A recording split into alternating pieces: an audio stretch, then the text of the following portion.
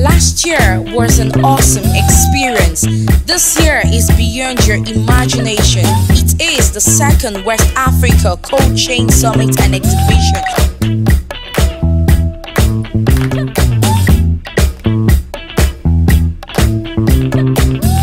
So welcome to this uh, great event. I would like to call on the chairman of the local organizing committee, Mr. Tunde uh, Okoya, to come and address the conference.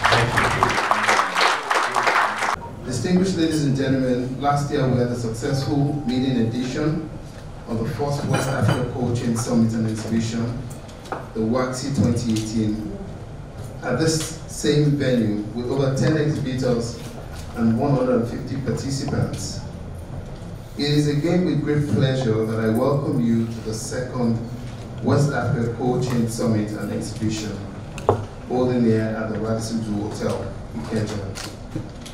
Our theme for this year is unlocking practical cold chain solutions in Africa. The cold chain is one tool that you can deploy to do that. This is a huge opportunity market for that, as I know you know, that's why you're here, that's why your businesses are interested in this. There's a ranking in the same report uh, looking at the amount of refrigerated warehouse space uh, per urban resident in different countries in the world, and Nigeria is very low uh, in that ranking. In fact, it's close to the bottom. So there's a huge opportunity for your businesses to expand into that urgent market, to uh, make successful business models, and to uh, help the well-being uh, of this region's residents at the same time. So may, may the force be with you, and I look forward to the rest of this uh, uh, conference for the next couple of days, and I look forward to meeting many of you. As we all know, the cold chain is, uh, for me, I think it's one of the critical aspects of our um, infrastructure that we need to put off. Um, so I want to thank the organizer for this important events, and also looking at the team unlocking practical cold chain solution in Africa. And just like the last speaker says, um, we are yet to get to where it is. And why I'm concerned is because the export angle of it, the trade aspect of it, we are, we are not, we are just not moving.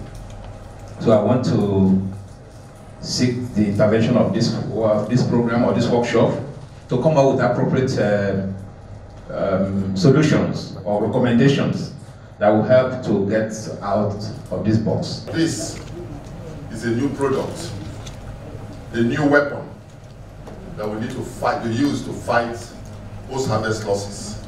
And it is the ultimate of the weapons. If we get it wrong, we continue to lose. If you don't have, prob you don't have problems, your brain does not work efficiently. Power is a problem, but it puts your, your brain on full gear. There are many ways you can overcome this. There are new ways, new technologies, and so on. Come up and don't, don't lift up your hands and say, there's nothing we can do. There's so much we can do.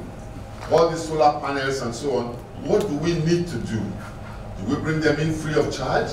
Do we have subsidies on them? Do we sell specific companies to do it? Because the market and the possibilities are so huge. You heard the previous speakers. In actual fact, uh, my friend and brother from the UK, I think you got the statistics wrong. You said we lose about between 2 and 20 percent. I think that was being very polite and political. the truth is this. I give an example. The last speaker from the Export Promotion Council, I think, talked about oranges. I am a dealer in oranges. Went to Boko, ordered a truckload of oranges. The gentleman gets there, who owns the orchard, gets his people, I want oranges, bring down oranges. His boys climbed the orange trees. And what did they do? They shook the orange trees. And the oranges did what? They fell. That fall alone, 30% is lost. Yes. Then they load them on my truck, the same truck that brought cattle to Boko.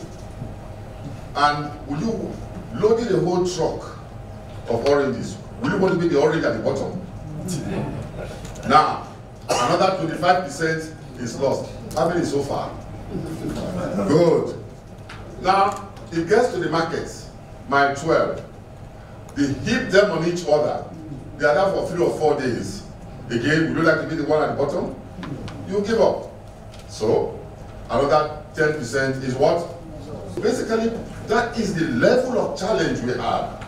But there's a solution because we're all gathered here to find a solution. And that solution we shall find. And we're not finding it next year, we're going to start it today. Thank you very much for that.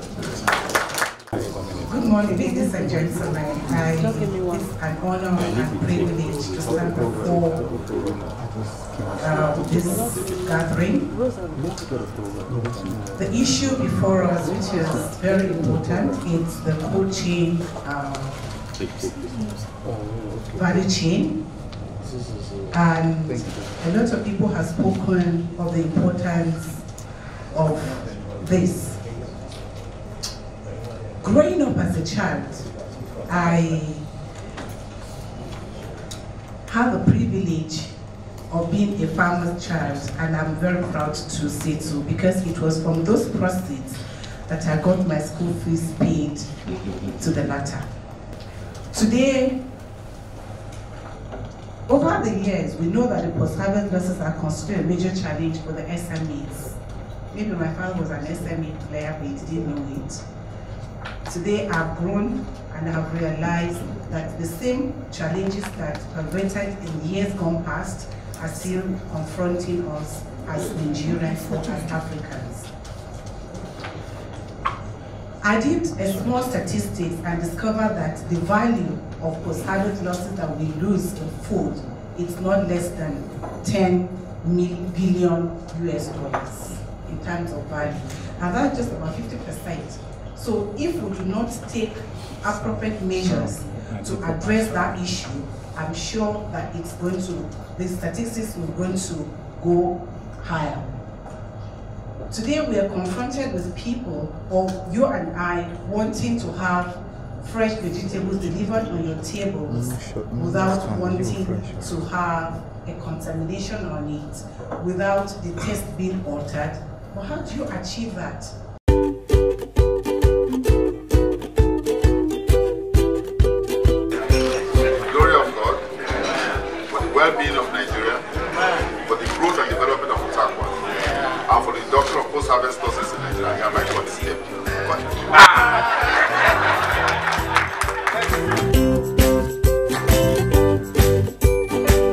This is our second West Africa Cold Chain Summit and Exhibition. We call it WACCSE 2019. We decided to uh, team it uh, unlocking practical cold chain solutions in Africa because the sustainable development goals include zero hunger, several other uh, solutions for agricultural sustainability and nutrition. So, therefore, the responsibility of the cold chain industry is to be an integral part of a sustainable development agenda for agriculture, for food, for nutrition, for healthcare, and the private sector.